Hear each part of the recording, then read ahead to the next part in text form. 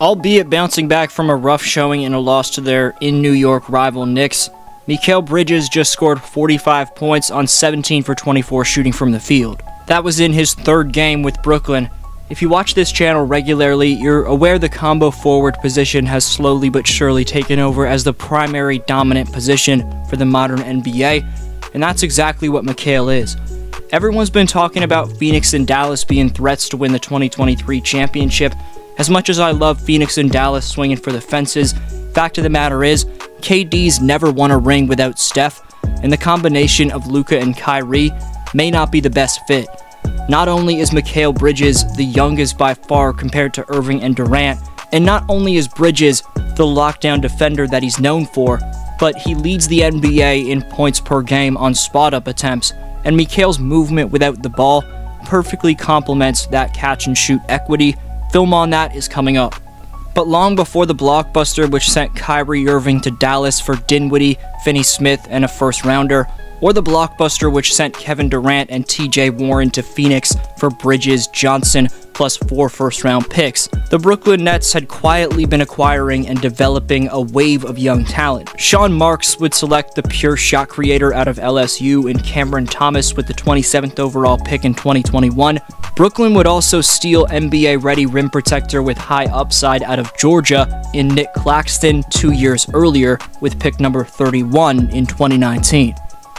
Amidst those years of pulling off late round magic in the draft, when GM Sean Marks and owner Joe Tsai were building up this Nets roster, it was of course at that time when they were tasked with complementing Durant, Kyrie, and Harden. That led them to balance out that influx of youth with veteran leaders who could hit and make three point shots at a high clip to suit the space and pace ways of the modern game. Patty Mills was acquired as a free agent in 2021 Seth Curry was a primary retrieval in the 2022 trade deadline deal, which sent the beard James Harden to Philadelphia. Brooklyn would then give up their first round pick for 2023's draft to acquire Royce O'Neale from Utah. He's been a big piece to their success this year, but that sacrificing of their future obviously made it tough for Nets fans to hear about Kyrie Irving and Kevin Durant requesting trades like a well timed stagger screen. As I mentioned in my review of the Durant trade among every trade deadline deal in this video, right here, Brooklyn couldn't be considered a loser in the deal for Kyrie Irving. That was of course far from the mainstream opinion, however, with most poking fun at the Nets' new Big Three, as opposed to the one they previously had with the Beard, Uncle Drew, and KD. Mikal Bridges has been rightfully granted the quote unquote Iron Man nickname throughout the course of his career. This man almost, I'm not going to say never to jinx him, misses games, as Mikal has a chance to suit up in 83 of 82 games this season, given the schedule at the time of his trade out of Phoenix. Brooklyn's 26 year old, more than mere 3 and D guy, but potential all star caliber two way weapon, is a bona fide diamond in the rough. Why exactly that is, I promise you have to stay tuned for. Right quick, just 19% of you watching are subscribed, so please subscribe if you haven't already. Also, please and thank you leave a thumbs up for the YouTube algorithm, and for a follow back, follow me on Instagram and Twitter at DFlowHoops. Over the last 10 games for the Iron Man against some of the NBA's best competition, one game being against the Boston Celtics, where he led Phoenix in scoring with 25 points in a road win against the best team in the NBA on paper. Over that span, Mikal's averaged 24 points on 50 40 90 shooting, now, you're going to respond to that by saying most of what he did there was just a contribution to raising his trade value, but I think it's deeper than that. Recency bias aside, after this monster showing, where he dropped 45 points, I believe Mikal's recent offensive beasting, tear, whatever you want to call it, from the Villanova phenom, displays that we're on the verge of witnessing the NBA's next breakout player. And despite Kyrie and Kevin initially being the talking points nationally, and rightfully so, based off how good they are, I think in three to five, maybe five to ten years from now, we're looking back and saying, damn, Brooklyn really took a W at the 2023 trade deadline when it didn't seem that way at first. Because when you really take a step back, and as we always do, look at things beyond the surface level, then you can dive into quickly realize that Mikal's an all NBA defender who hasn't even come close to reaching his full potential on either end of the court. At the same time, there's an argument, not saying I stand by it, that Irving and Durant's best days are behind them. Again, not saying I agree with that standpoint, as Phoenix and Dallas are dangerous and capable of flipping the seemingly never changing narratives of Durant and Irving's career on their heels, but for now, that narrative flipping is being done by the still dangerous Brooklyn Nets. This reminds me of when my Raptors in 2013 gave up a wing in his prime, being Rudy Gay,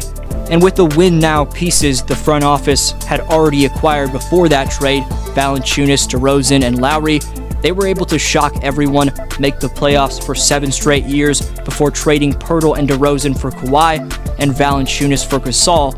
which led to a championship less than six years after that Rudy trade. Now, obviously, Kevin Durant is no Rudy Gay, so the similarities are sparse there, but in terms of how my Raptors flipped the script and how this Brooklyn team potentially can over the next decade is similar. Let's get to what makes this still top-notch head coached by Jacque Vaughn ball club genuinely capable of securing a playoff spot in the near future and not being the easiest out either by mid-April. Often without Booker and CP3 for the last stretch of his time in the Valley, Bridges showed intriguing aptitude as the primary scoring threat, scoring at least 23 points in every game over an 11-game span where the Suns went 9 and 2 from January 19th to February 7th. This play sees his attempted backdoor cut off a give and go, get him completely open under the basket, and he gets the miraculous tip in. Got fouled as well, but no call. This transition play sees him fake the full sprint back on defense, which gets VanVleet to try the cross court pass. Then Bridges, Olive gets the interception, saves it from going out of bounds on the left side, and beats sophomore Scottie Barnes up in transition for the two-way highlight. Catching bullet entries like this one where he stops on a dime at 100 miles per hour off the cut, those take time for a lot of players to absorb, but Bridges right here just swiftly turns the pass from Craig into a weaving bouncer through Brown and Horford to set up Deandre. Despite fumbling after the push-ahead dribble right here, he's again just going to both swiftly collect it and find Ayton, this time for the lob,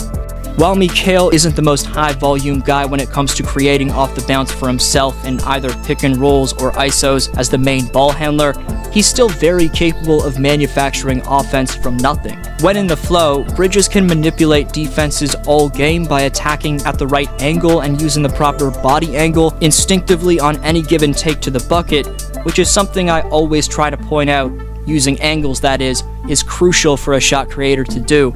In addition to doing that at an incredibly high level, further increasing Mikal's value is his wingspan, his reactivity, and his shooting range. Here, he goes hesi dribble, then crossover while using a fake moving jab step to bait jumper, dipping his shoulder down on the drive, and bumps off Jimmy for the runner. Here, he's going to get VanVleet on his back while utilizing a few under control low dribbles out of this pick and roll. Quick stop on a dime for the leaning back KDS pull up, this take to his offhand in the pick and roll sees him take off for his layup well beyond the restricted area and have time to get back to his right. However, Mikal's ability to set up his teammates with kickouts, trusting that he'll get it back and being able to swiftly relocate with his IQ ultimately creates a lot of offensive flow, whether he's scoring or not. Two shoutouts from my last upload and this one are on your screen, but today's question is, what's the Nets ceiling this year? Thanks for watching, have a good one.